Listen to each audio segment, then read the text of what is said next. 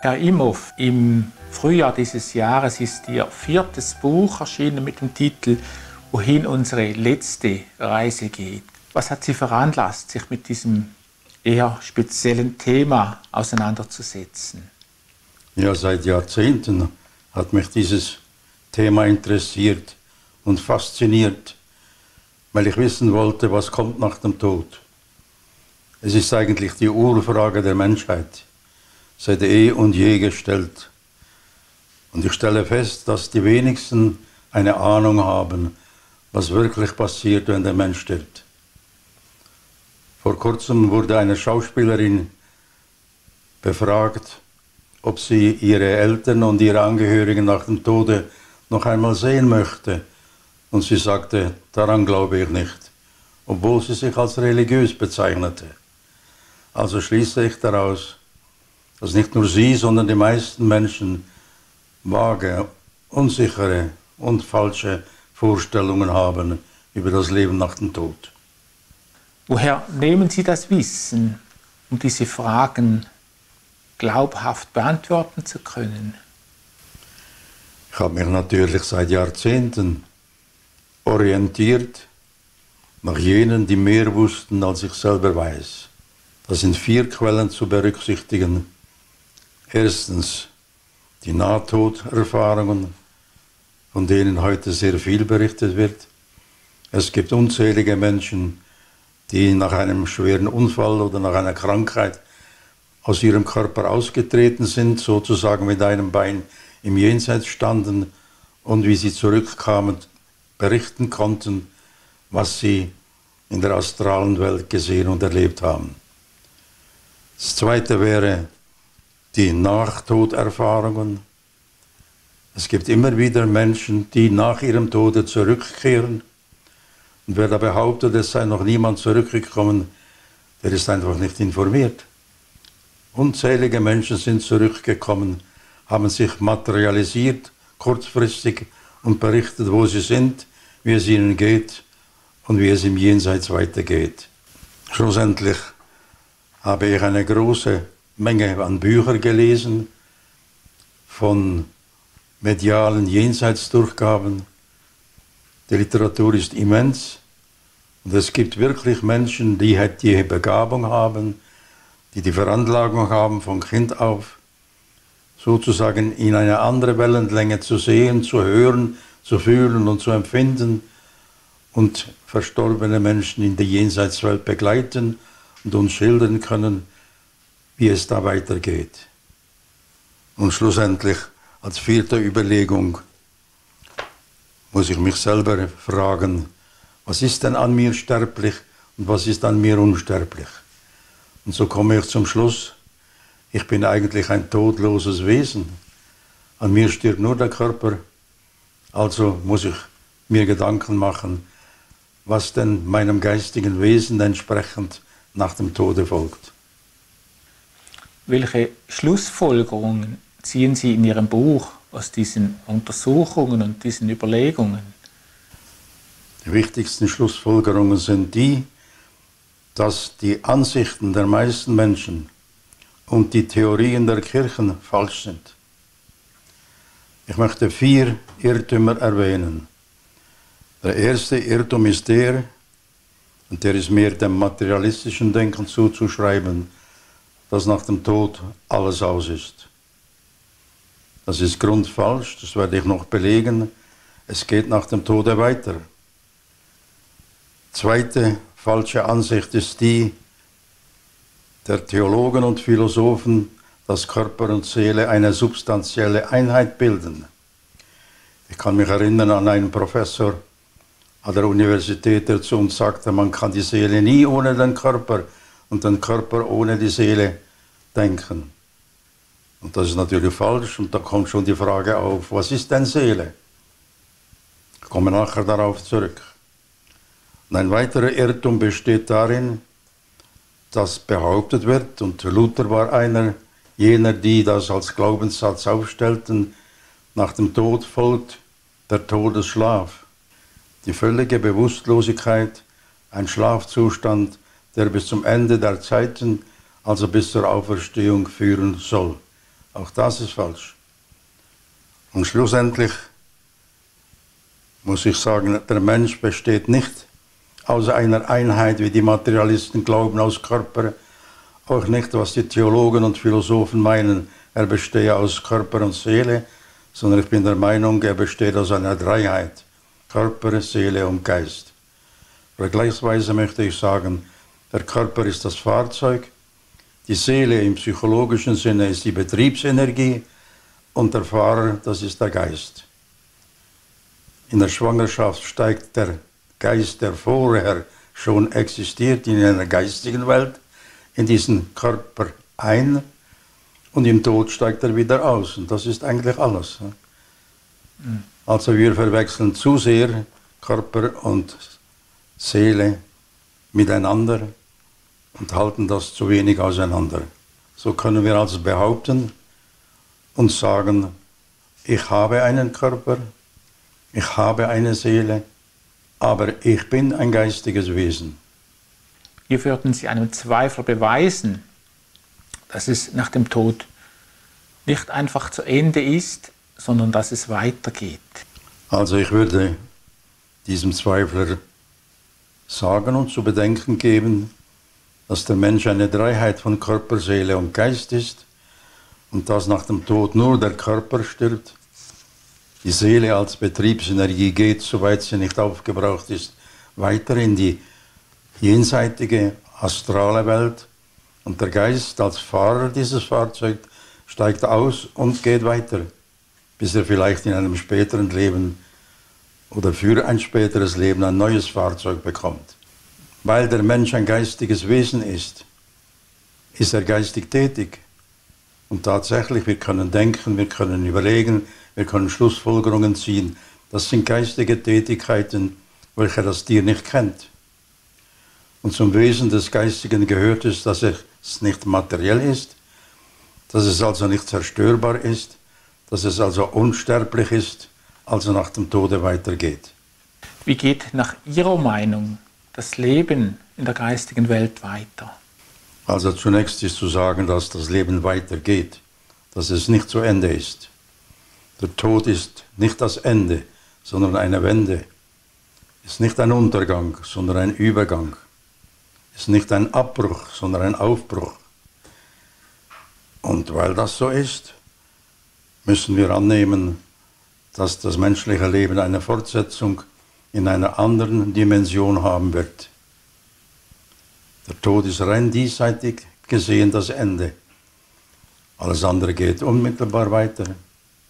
Es ist weder ein Todesschlaf noch ein ewiges Nichtsein, sondern ein unmittelbares Weiterexistieren in einer anderen Dimension, in einer anderen Wellenlänge, in einer anderen feinstofflichen Körperlichkeit.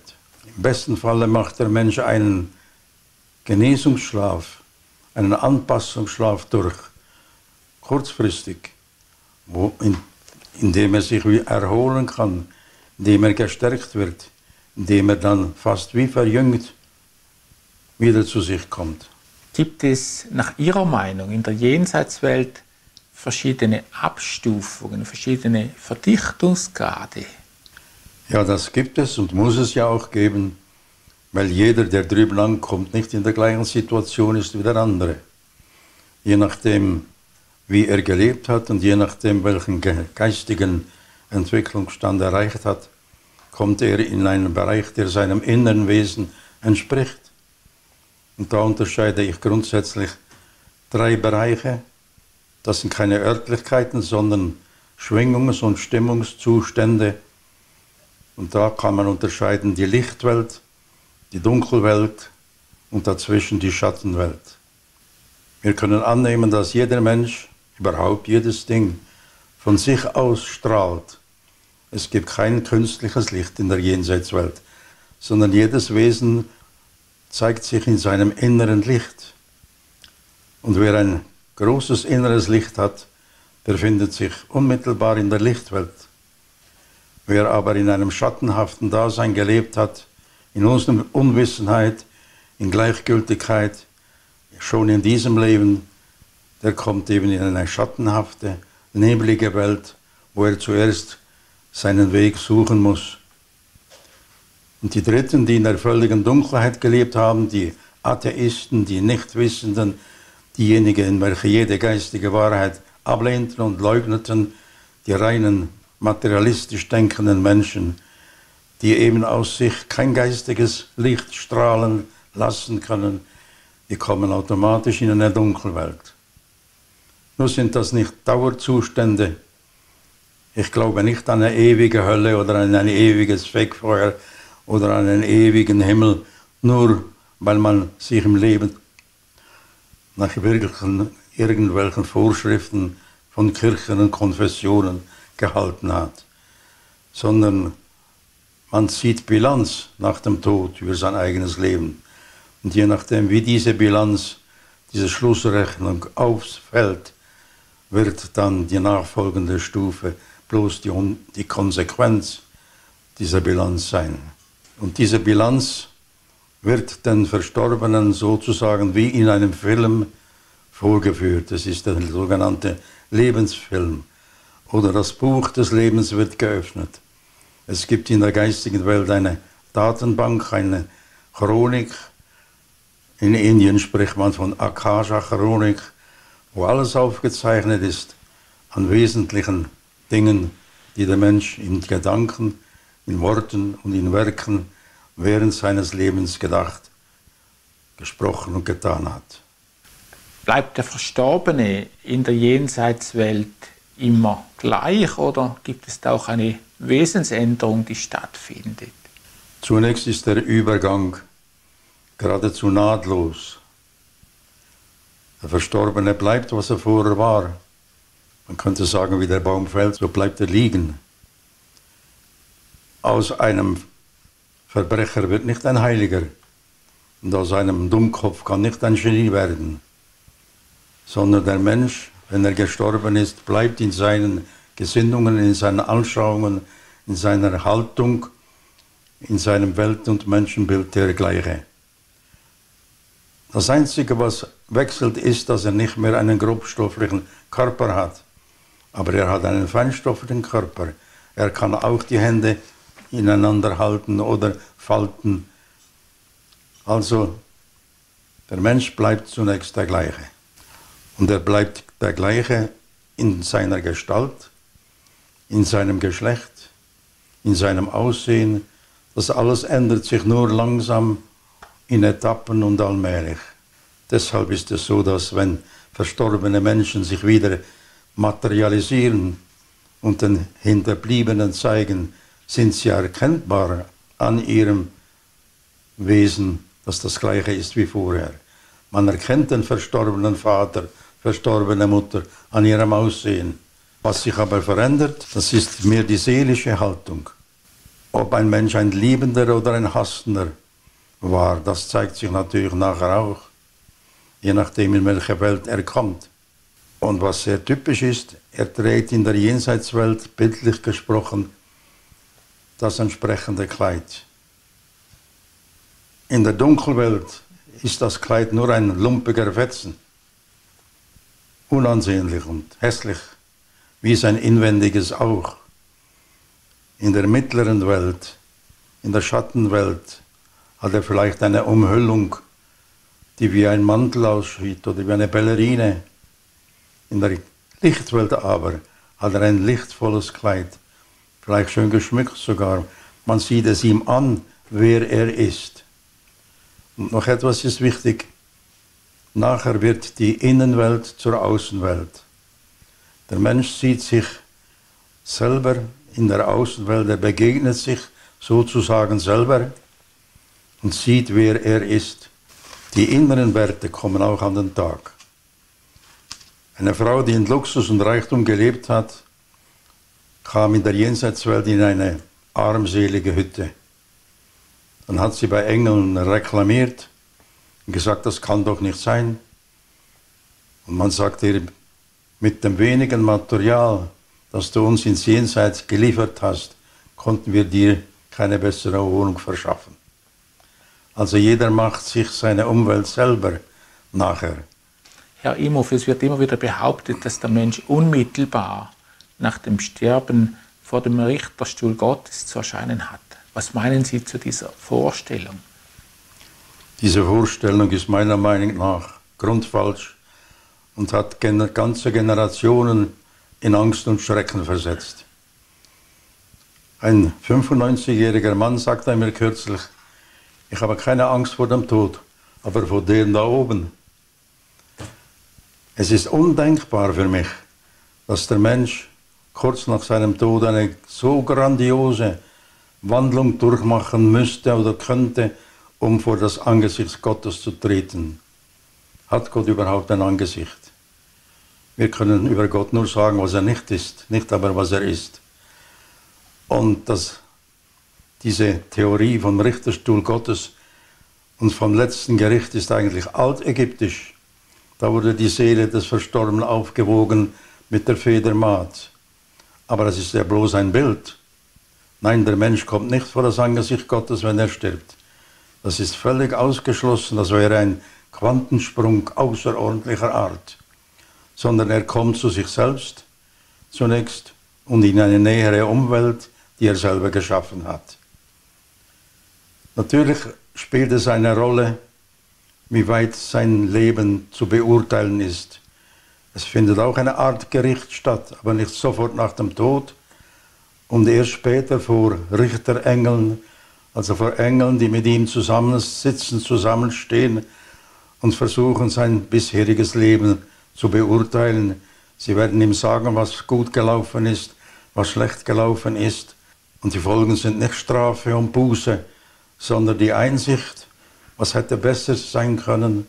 Und vor allem wird aufgezeigt, wohin der Weg zu einer Besserung führt und wie er seine Untaten wieder gut machen könnte. Also die Wiedergutmachung ist das wesentliche Element von diesem sogenannten Jenseitsgericht. Nicht Strafe, nicht Verdammnis, sondern Einsicht in die bessere Welt des Geistes. Auf was kommt es also an, wenn es darum geht, nach dem Tode Recht und Gerechtigkeit zu erfahren? Nach dem Tod ist nicht entscheidend, in welcher Konfession er gelebt hat, wie oft er in die Kirche gegangen ist, sondern nur, was er an Guten getan hat. Und zwar das Gute in Gedanken, in Worten und in Werken. Das spiegelt sich nachher in seinem Innern und in seinem Äußeren in der geistigen Welt. Deshalb hat der Kirchenlehrer Augustinus mal sehr schön gesagt, liebe und im Übrigen tue, was du willst.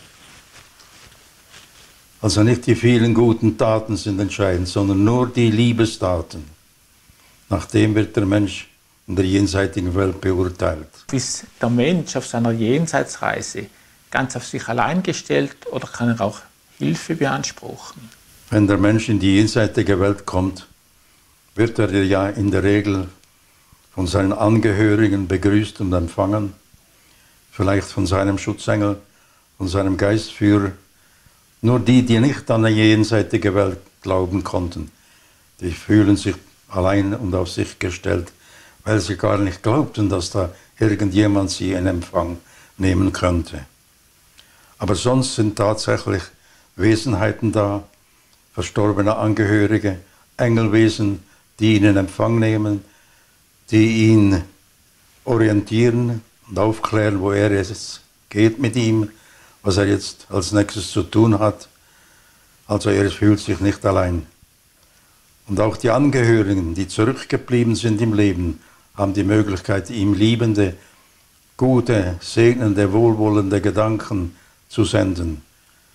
Also es ist kein Unterbruch im Sprecherfunk mit den Verstorbenen vor allem für die, die daran geglaubt haben, an diese Möglichkeit. Also lassen wir die Verstorbenen niemals allein mit sich in der Jenseitswelt den Weg finden, sondern weisen, sie, weisen wir ihm den Weg. Erinnern wir uns immer wieder mit Freude und Liebe an, die jenen, an jene, die von uns gegangen sind. Das gibt ihnen Wärme und gibt ihnen Hilfe und gibt ihnen Liebe. Ich möchte schließen mit dem schönen Gedicht von dem jenseitigen Dichter Ephiles. Einmal wird das Ende aller Irrfahrt sein. Müd gewordene Hände ziehen die Ruder ein. Leise ruft der Rufer allen Sturm zur Ruhe. Einem anderen Ufer treibt er Nachen zu. Und die vor mir gingen, schauen nach mir aus, um mich heimzuführen in mein ewiges Haus. Dankbar sink ich nieder in den Silbersand.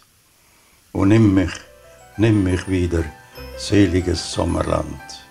Herr Imhoff, herzlichen Dank für das Gespräch. Danke Ihnen.